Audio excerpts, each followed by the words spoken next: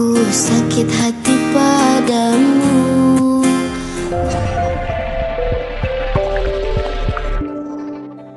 Seorang wanita terkejut melihat penampilan anak keduanya yang berbeza sejurus menjemputnya balik dari rumah pengasuh.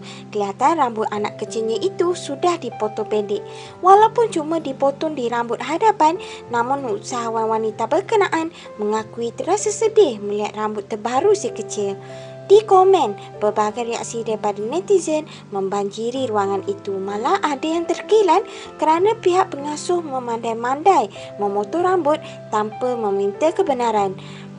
Bagaimanapun segelintir warganet berpendapat tindakan itu sebenarnya adalah tanda sayang terhadap anak-anak yang mereka jaga.